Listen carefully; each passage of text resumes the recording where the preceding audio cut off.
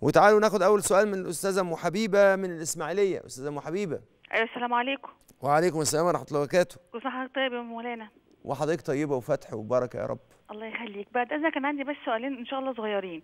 اتفضلي. الأولاني أنا كنت بصلي التراويح عادي في الجامع زي أي ست وبعدين أنا جه في دماغي الحديث سيدنا محمد صلى الله عليه وسلم اللي هو صلاة المرأة في البيت أفضل.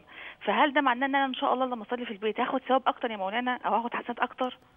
طيب هجاوب على حضرتك. السؤال السؤال الثاني بعد إذن حضرتك آه، أنا دلوقتي بتابع في المقرأة في الجامع وفي المقرأة معايا سيد- سيدات فاضلات وكل حاجة مدينات وكل حاجة بس إيه بيضغطوا عليا يا مولانا عشان خاطر أنا درست في معهد دراسات إسلامية ومعايا دبلوم دراسات إسلامية وكده بس أنا مش خريجة أزهر. فبيضغطوا عليا إن أنا أعمل درس دين وأعلمهم اللي خدته في المعهد في الجامع أنا قلت لهم ده ممنوع الأوقاف مش هتوافق لأني مش خريجة أزهر. وبعدين أنا أخاف من ذنب الفتوى يا مولانا دون علم. فهم بيضغطوا عليا بفكرة إن آه، الأمر معروف والنهي عن المنكر وإن أنا لازم أعمل كده أقول ربنا هيديني ذنب يوم القيامة اسمه ذنب كتم العلم. وإن العالم اللي يكتم علمه ده بيخش النار ربنا بيدخله النار. فأنا عايزة حضرتك بعد إذنك بس تحلي الخلاف ده ما بيني وبينهم. هل فعلا أنا بعمل ده غلط حضرتك شايفة نفسك حضرتك شايفة نفسك عالمة؟ لا طبعا مستحيل. طب خلاص ما تسمعيش كلامه. دول الناس لطاف جدا جدا جدا. وكل اللي عندهم دوت عبارة عن انطباعات وشوية أفكار كده كلها متلخبطة واشكال وأفكار متداخلة مع بعض وبيدعوا على وبيدعوا المعرفة بدين الله سبحانه وتعالى. وهم دول اللي بيبوظوا الدنيا. انت حضرتك اتعلمتي عشان تصلحي عبادتك وتحسني قلبك وتزكي نفسك وتحسي بإنك أنت تقدري تعملي الخير. فأنت عملت اتعلمتي ده عشان تصلحي حالك. مش معقولة كل واحد يتعلم عشان يصلح حاله؟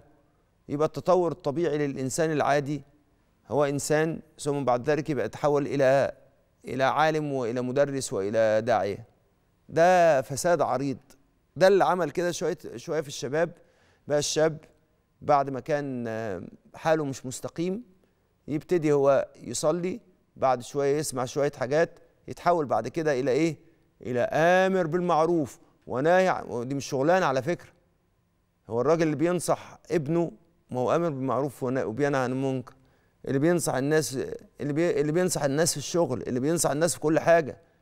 لكن فكرة إن يبقى في شغلانة كده اسمها الآمر بالمعروف والنهي عن المنكر دي مش شغلانة الشغلانة ديت شغلانة المحتسب اللي هي خلاص بقت رسمي موجودة هناك في وزارة الداخلية.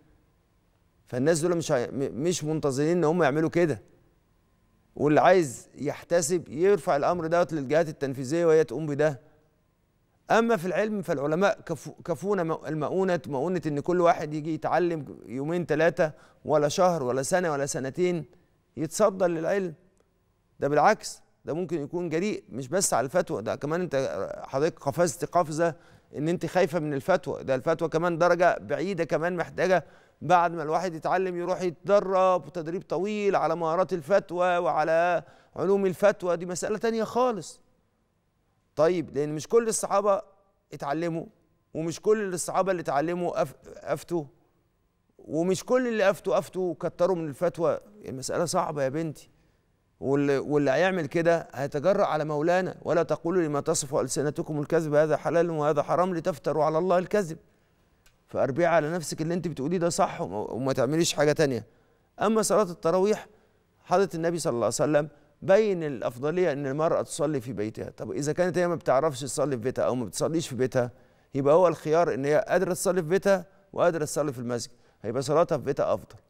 لكن لو هي مش قادرة تصلي في بيتها وبتجد عونا إن هي تصلي في المسجد خلاص يبقى صلاتها في المسجد هي أولى لإن هي مش واجدة عون للصلاه في البيت. يبقى المسألة واضحة وأنا وضحت لحضرتك السؤالين.